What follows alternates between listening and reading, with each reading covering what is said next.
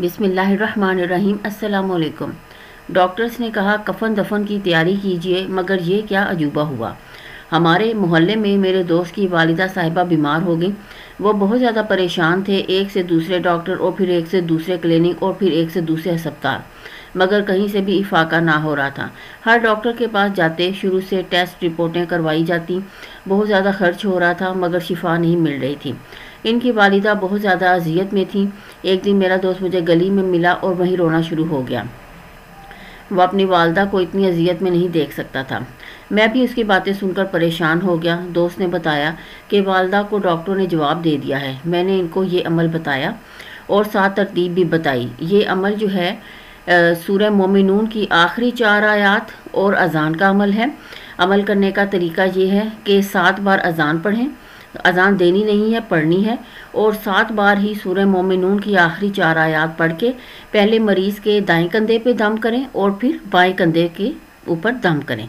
इस तरह से उनको शिफा नसीब होगी।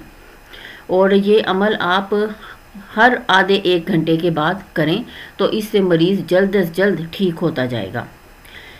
इन चारों ने पढ़ना शुरू कर दिया। अब इनके पास एक ना एक हर वक्त पढ़कर दम करता रहा है। आप यकीन करें कि पहले इन हतून की बिल्कुल हरकत बंद थी। एक दिन के अंदर बोलना और देखना शुरू कर दिया। मैंने कहा, इन दवाइयों पर भी और पानी पर दम कर दें। तीसरे दिन ये हतून उठकर चलना शुरू हो गई। अब माशाल्लाह सेहतमंद है। ये अल्लाह ताला के कलाम की ताकत है। जादू ने चारपाई से लगा दिया। मेरे दोस्त की बहन पर इतना शदीद जादू कि वो चारपाई पर लग गई। शादी तय हुई तो शादी से एक दिन कबल बीमार हो गई और उठने की ताकत ख़त्म। बगैर सहारे के वॉशरूम तक नहीं जा सकती थी।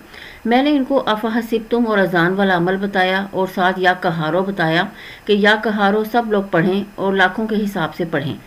अब अजान वाला अमल तो इन लोगों ने बहुत कम किया, लेकिन या कहारो बहुत ज़ोरों शोर से पढ़ना शुरू कर दिया। अल्लाह ताला ने शिफा दी।